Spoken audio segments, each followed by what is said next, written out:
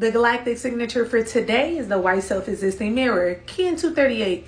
What type of energy will we be receiving today? Focus on a divine plan for humanity. Really see the bigger picture right here in your mind's eye so that we can create it.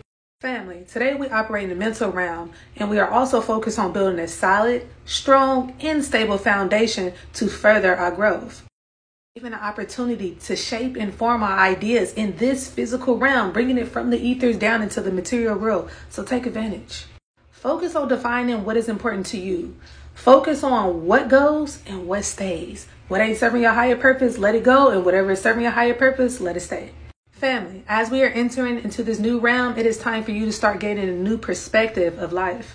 Really just being able to see things from a higher perspective and understanding that there are new horizons to explore. Today, you are receiving codes of clarity and endless vision, so you can choose to tap in or not. What we must understand is that the mirror reveals the truth of what is. Also, the mirror reveals the um, basically the illusions in this false time as matrix.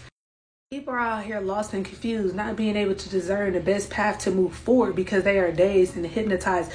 Y'all, we got to get up out of this state of mind family understand that this is how they keep souls eternally trapped in a maze, easily controlled, easily being experimented on, and easily having to be dependent upon the puppeteers. Family, in order to set yourself free, you got to connect through the heart space, through spirit, just allowing the truth to reveal to you what you need to see. The truth shall set you free. Break the spell and free yourself from the illusions, or continue to be a lab rat. It's up to you.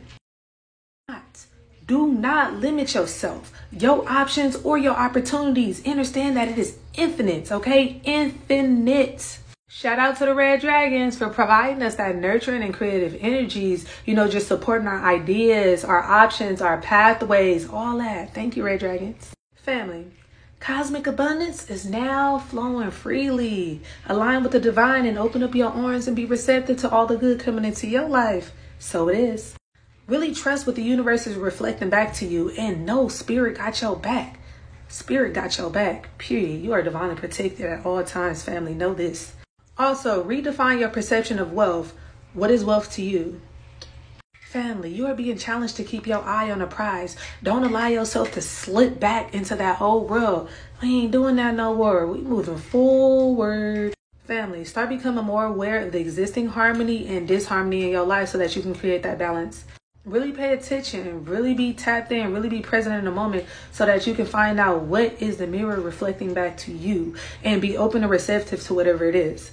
Be more open like really be more open and receptive to the peace and harmony in all aspects i mean all aspects of your life. Love harmony abundance is your natural birthright. So claim it family claim it. It's yours.